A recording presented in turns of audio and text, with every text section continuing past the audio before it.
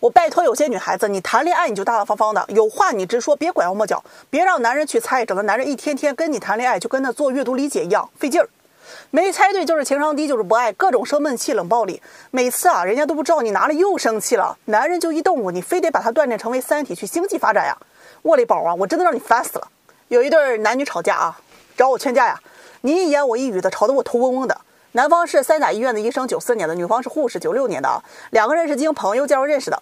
这两个人的匹配啊，那明白人一看就是自带风险系数的，就是这男方的条件要比女方在婚恋市场更容易找到对象，这女方的雌竞压力就会很大，所以啊，这聪明的女人一般都会多付出一些利他属性啊，来维持这段关系的稳定。哎，那就有一些不聪明的人啊，就作的让你生气。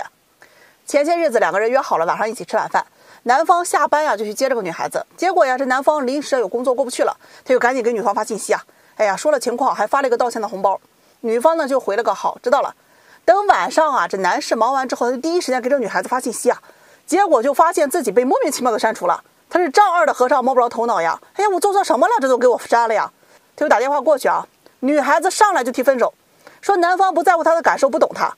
男士那个头啊都懵懵的啊，我也是，我死你得给我个说法吧。女孩子就说呀，我今天晚上我都化妆了，打扮好了，你突然跟我说你不来了，你觉得这样对吗？男士就说呀，我那是情况特殊啊，领导安排工作呀，我也提前跟你讲了呀，你不是还同意了吗？女孩子一听，咵叽一下，非常生气啊！你跟我请假，我难道还能不让你工作了？我只能同意啊！男士这一听啊，就哄啊，哦，原来是嫌我工作不搭理你嘛？那你不愿意可以跟我直说啊，那我安排好工作，我第一时间来找你啊！女孩子就说了，不需要了，你不在乎我，你才会这样做的。接着男士啊，就叽里呱啦的各种哄啊，送礼物又发红包的，好了，哄好了。到了周末啊，这男士长脑子了，特地先把工作给安排好，确定好时间之后啊，约这个女孩子。结果人这女孩子就说了不想去。男士一问，这是没时间吗？姑娘就说了，我有时间，我就是不想去。男士这一看呀，哎呀，这姑娘八成又是生气了呀，就问他怎么生气了呀？哎呀，这姑娘是不说话也不回复，说自己不想说。这男士就着急啊，你有话直说呀，我也不知道你咋了嘛。这时候女孩子才说呀，你约我不知道提前吧？你约我就出来。那我也太不是回事了吧！男士就解释说自己工作啊，临时啊加班比较多，只能临时去抽时间才能约你啊。女孩子说了，解释没用，你心里有我呀，这事儿他怎么都能安排好。哎呀，最后他又抱怨，这好好的周末让男士给整的，人心情不好了。接着这男士呢又哄呢，俩人又好了。过了两天，这女孩子呀晚上十一点多，哎给男士发信息说自己来例假了，肚子疼不舒服。男士就问啊，那你自己在家里能行吗？这姑娘就回复个能行。哎呀，这男士安慰了几句啊，就说我先睡了啊，明天我去看你。结果第二天刚想问问情况的时候，发现又被删了。电话过去问怎么了，这姑娘说呀，我昨晚都告诉你我不舒服了，你不知道来看我吗？男士就说我还问你了，你自己能不能行？你说能行我才睡觉的。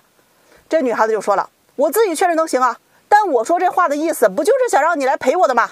男士听完啊，直接来了句啊，整天让我猜，我受够了，分了吧。这姑娘一看，好，你来真的了啊！我提分手可以，怎么还你能提了呢？两个人就这么冷战了一天。事后啊，这女孩子一看男士来真的呀，后悔了呀，追着联系男方，说自己错了，不想分手了。但男方这边的态度非常坚决，就是要分啊。这不，昨天晚上，先这个女孩子联系我啊，让我去挽回，但她说的跟男方说的是两个版本啊。女方的意思是自己很爱男方，但是男方不珍惜她，等等。男方这个版本啊，就是你有话不直说，全是暗示和试探，非得让我各种猜，过够了，太累了。女孩子在那儿啊，一直哭，说自己后悔了，人男方就不同意啊。我感觉她悔的更多的就是错过了一个她能遇到的条件最好的人。有些女孩子呢，贼不聪明啊，总是擅长把一件事情搞得很复杂，把自己放在一个审判者的姿态上，让男人去猜啊。你能猜到我就很开心，我就觉得你人很好。哎，猜不到我就不开心，而且我也会认为这是你的责任，你没做好你该做的。这个审判者的姿态其实是一种高高在上的身份，透露着我不会犯错，犯错的永远都是你，就这么个意思啊。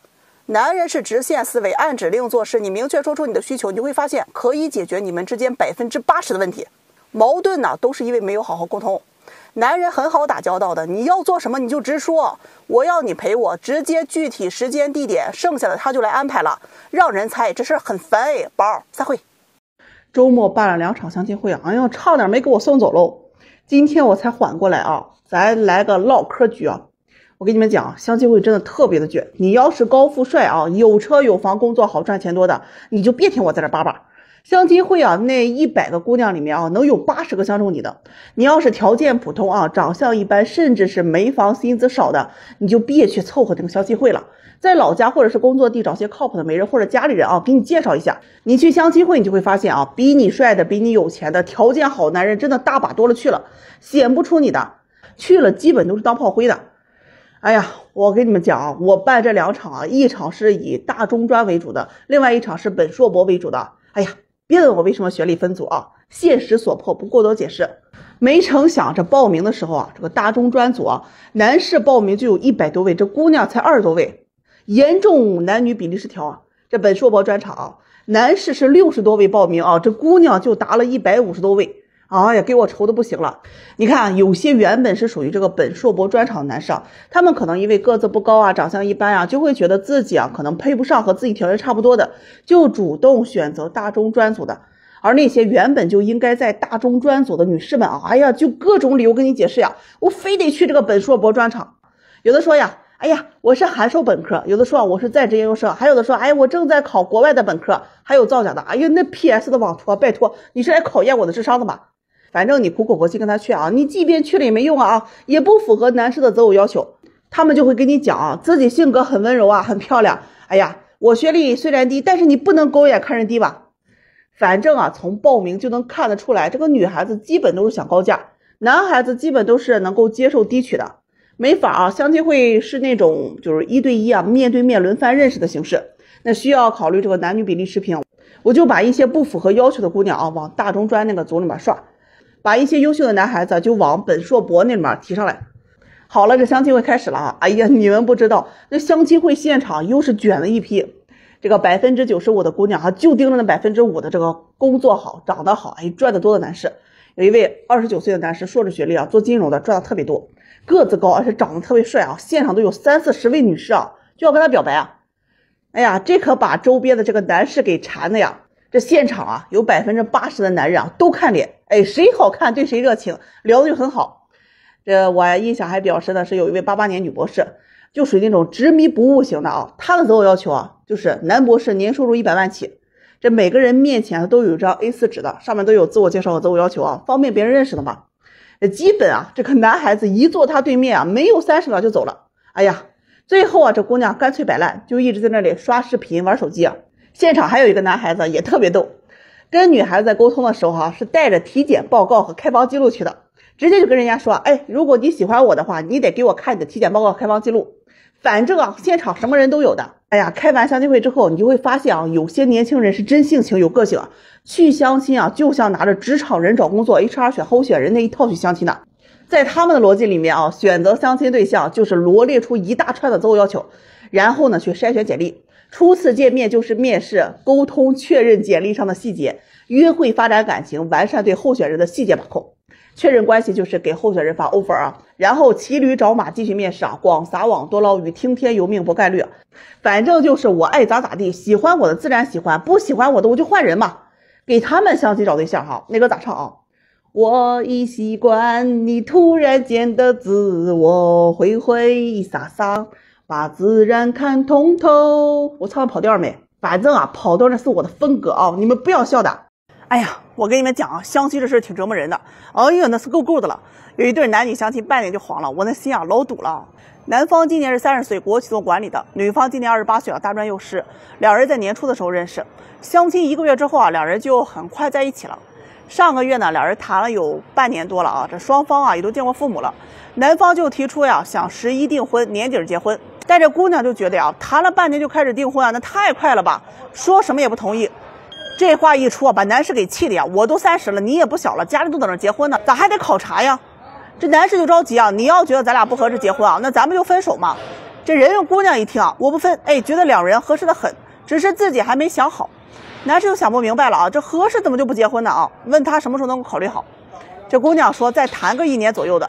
男士一听啊，就来了脾气啊！这一年过去，我娃都应该出来了，你才跟我说结婚啊？觉得呀，这女方就是在吊着他。既然没的诚意，那咱就不谈了嘛，直接把这姑娘给拉黑了。哎呀，这一操作，姑娘直接懵了啊，急了呀！哎呀，难得找个条件好的，这还得跑了呀？找不着人了，就来找我告状啊！哔哩哔哩一顿讲。哎呀，我反正每天啊，不是在牵线路上，就是在劝架的路上。我问这姑娘啊为什么要等一年的时间啊？她说感觉自己确实不是很喜欢这个男士啊，怕自己结了婚后悔嘛。哎呀，这话给我整的也不明白了啊！不喜欢为什么要答应人家？她给的理由是这么说的：男方的物质条件可以满足她所有的择偶期待，但是对方的身高、颜值和性格等等都不算对她很有吸引力啊。当时决定在一起啊，一是家里催婚压力大，二是对未来很迷茫，不确定自己再错过还能不能找到更好的。最重要的一点啊，是男方是独生子，工作体面，有房子还是全款，父母都是高知家庭，对他未来带孩子是很有帮助的。哎，权衡利弊之后啊，才同意的。我这一听啊，这不就是经典的看上条件了没看上人吗？我好心劝他，我说你要是不喜欢这个男生，你为了条件逼迫自己跟他结婚啊，婚后你也不会很开心的。他和我说呀，自己马上二十九岁了，想在工作这个城市里定下来，只能找个本地人结婚，而这个男士的条件是最合适的。男士听完就说呀，这半年这姑娘几乎从来不主动关心他啊，也不问候他，甚至跟这姑娘拥抱都觉得很陌生啊。和他说点自己的事情啊，对方都会很反感。我爱他，但是他并不爱我，我不想和他在一起了。反正我也没劝和，俩人这么分了啊。哎，不该我事儿啊。很多人都问我一个问题，老师啊，结婚到底是合适重要还是喜欢重要？你选人结婚啊，门当户对、互相喜欢是走进婚姻的基础条件，所以合适和喜欢一定是并存的。退而求其次，不看条件，你也找个自己喜欢的人，跟喜欢的人在一起啊，风都是甜的。如果见面三次你依然不喜欢，那就果断放弃，后面你是不可能喜欢的。对方不喜欢你，对你爱答不理啊，没有被关心的感觉，你也要放弃。干嘛跟一个连关系都不愿意给你的人？你的爱就很廉价吗？另外啊，条件合不合适啊，不是看对方的，而是看你自己。你月薪三千想找个月薪两万的，你永远都遇不到合适的。你找个月薪六千的，自己还蛮喜欢的，就相处看看，不要总问。哎呀，为什么我遇到的要么就是喜欢的条件不好的，要么就是条件好的不喜欢的？那是因为你遇到的太少，或者是择偶要求太高了，非得在这几个人上靠着吗？当你找到一个还蛮喜欢的条件也差不多的人啊，就去相处一段时间看看。你要看看自己是否能够接受他的性格脾气。对方是否能够控制好情绪去解决问题？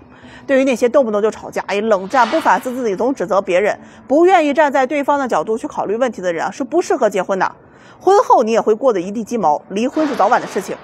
婚姻是一辈子的事情，不要随便去找个差不多的人就行。不幸的婚姻啊，消磨了爱情，还会让双方啊都身心疲惫。花了那么多钱都结婚了，还娶个不情不愿的，这样的婚姻啊，还真的不如不结呢。